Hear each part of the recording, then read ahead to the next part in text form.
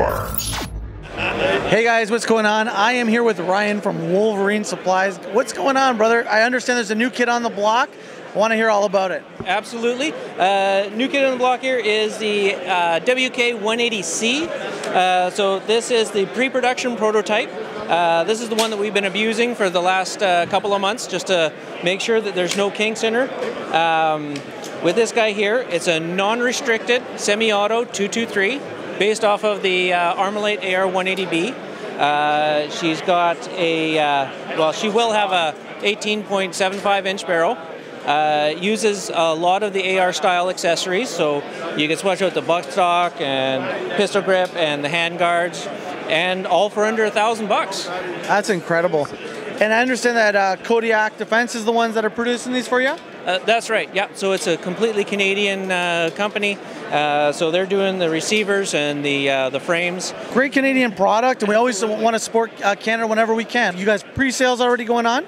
Uh, pre-sales are going on. Uh, actually, we've been blown away by the support we've been getting from the uh, firearms community. Uh, our first thousand rifles were sold within three days. Yeah, uh, so it is a great thing to see. Uh, you can do deposits on them. a lot of them are going to get put through our dealers. Any of our stocking dealers, just check with your local guys. They they can get orders in.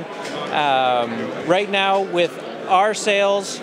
Uh, if you're looking at putting a deposit, you're looking probably early uh, next year, maybe late this year, depending on how production goes. That's incredible. I mean, anybody who looks at this rifle can say, you know what, a non-restricted AR-15 is what you're kind of looking at right here. Um, at least a lot of the controls look very intuitive to the same platform. Yeah. Uh, so once we get the uh, uh, the first production in, then we can start doing accuracy tests and whatnot, and uh, really get a, uh, a good overall look at her. Well, that, we're excited about that. I'd like to thank you for taking the time here at the TACCOM show, and uh, we look forward to doing more work with you guys in the future. Sounds great. Thanks Thank very Ryan. much. We want to know what you guys think of this new rifle being offered by Wolverine Supplies. Does it fit the bill for your next purchase? Let us know in the comments below. And as always, check us out on Facebook, follow us on Instagram, and subscribe to us on youtube.com. This is Code of Arms.